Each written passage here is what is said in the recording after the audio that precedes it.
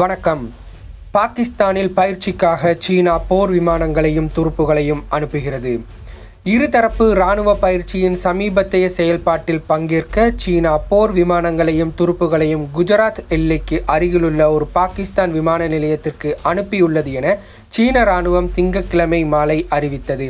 மேலும் அதில் இந்த பயிற்சியானது இரு தரப்பினருடைய உண்மையான போர் வலிமையை வெளிக்கொணரவும் மேம்படுத்தவும் உதவும் என குறிப்பிடப்பட்டுள்ளது.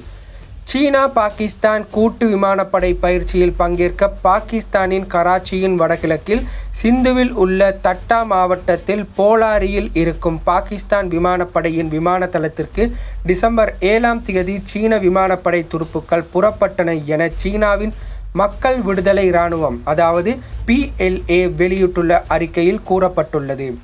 கிழக்கு லடாக்கில் நடந்து வரும் இந்தியா சீனா எல்லை முருகலின் பின்னணியில் இந்த பயிற்சியின் நோக்கம் இருக்குமா என்ற சந்தேகமும் எழுகிறது. இந்த பயிற்சிகள் பற்றிய சுருக்கமான சீன அறிக்கையில் பாகிஸ்தானுடனான பயிற்சிக்காக பிஎல்ஏ விமானப்படை பயன்படுத்துவது குறித்த விவரங்களை கொடுக்கவில்லை.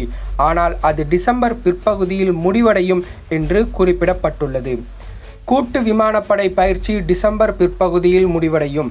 இது இரு போர் வீரர்களினதும் இரண்டாயிரத்தி இருபது ஒத்துழைப்பு நடவடிக்கையின் ஒரு திட்டமாகும் என்று அதில் கூறப்பட்டுள்ளது.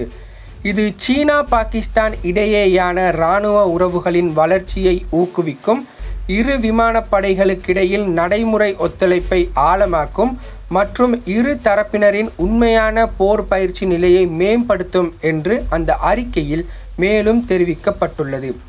செப்டம்பர் இரண்டாயிரத்தி பத்தொன்பதில் சீனாவின் ஜின்ஜியாங்கில் நடைபெற்ற இந்த பயிற்சியின் இறுதி செயல்பாட்டில் இரு நாடுகளில் இருந்தும் கிட்டத்தட்ட ஐம்பது போர் விமானங்கள் பங்கேற்றது குறிப்பிடத்தக்கது. இந்த பயிற்சிகளில் அதிகளவான போர் விமானங்கள் பங்கு பெற்றது அதுவே ஆகும். கடந்த வாரம் ஒரு மாநில ஊடக அறிக்கை ஏராளமான சீன போர் விமானங்கள் சமீபத்தில் ஒரு தொடர்ச்சியான தீவிர பயிற்சிகளை நடத்தியுள்ளன.